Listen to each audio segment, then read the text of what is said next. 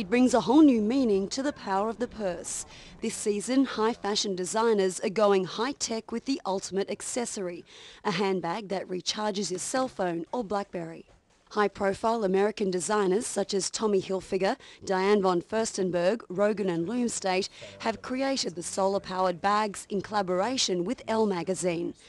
The one-of-a-kind handbags have been fitted with special kits that consist of flexible solar panels and a control unit with either a USB port or small light. Rogan designer Rogan Gregory. A lot of my friends were like, that'd make a great beach bag.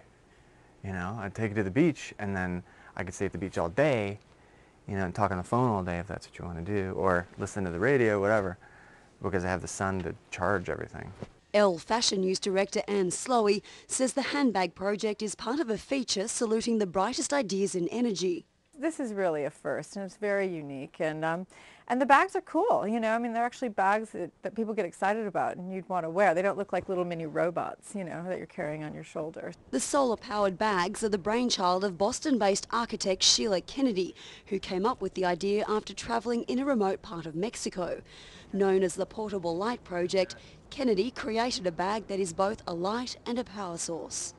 If you expose the solar panel outdoors in direct sunlight for about five hours with our 2 watt, our very small 2 watt module, then you have about eight hours of bright white light. Kennedy says the concept has the potential to address what she calls energy poverty in third world and developing countries.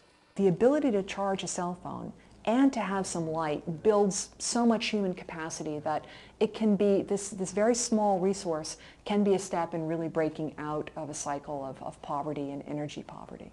As for the designer handbags, they're set to be auctioned online, but they won't come cheap. Handbags are expensive, especially designer handbags. I mean, you can spend you know, the norm nowadays, I mean, it just makes me like have a heart attack to say it, but you know, women are spending 1,600 to $2,000 on a bag. The auction will take place on Elle.com. Gemma Haines, Reuters.